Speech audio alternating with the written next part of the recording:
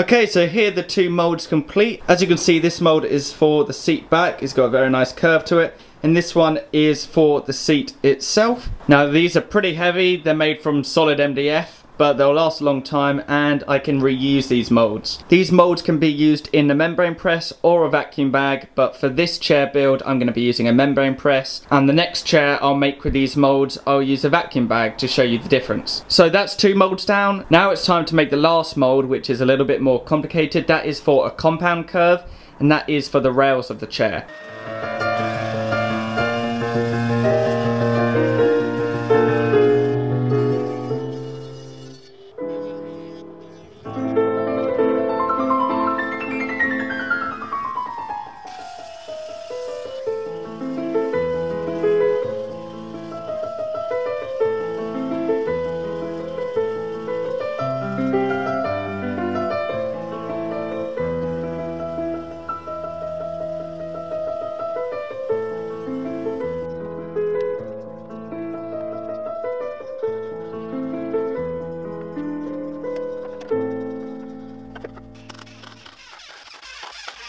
And I've created this housing joint here so it's a bit stronger. These supports are attached to uh, this beam with a halving joint and I've added these plywood kind of triangle structures on the side to give it more strength because I'm going to be adding a lot of clamps to this and a lot of force is going to be applied when bending the plywood so I want this to be as rigid as possible.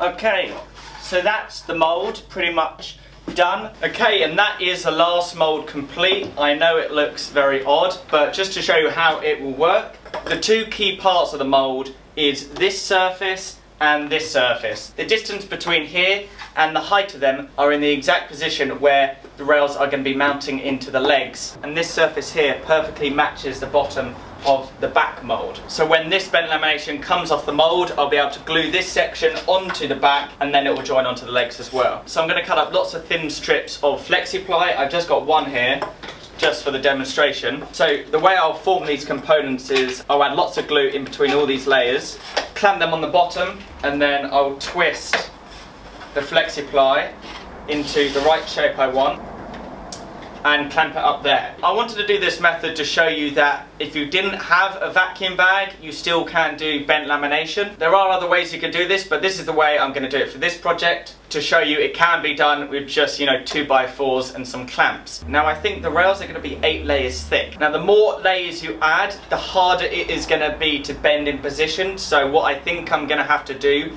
is glue it up in stages first gluing up three layers together, then adding layers on each day or each couple of hours, depending on how fast it sets. But that will be clearer when we get to that stage. So I hope you're excited about this build. It's going to be a really fun one. In the next part, I think we're going to be doing some bent laminating. So I'll see you there. Thank you for watching this video. If you're new to this channel, feel free to subscribe. Make sure you check out Chiltern Timber. I'll put their links in the description down below. If you enjoyed the video, give it a like. Thank you for watching, and I'll see you in a couple of days for the next video.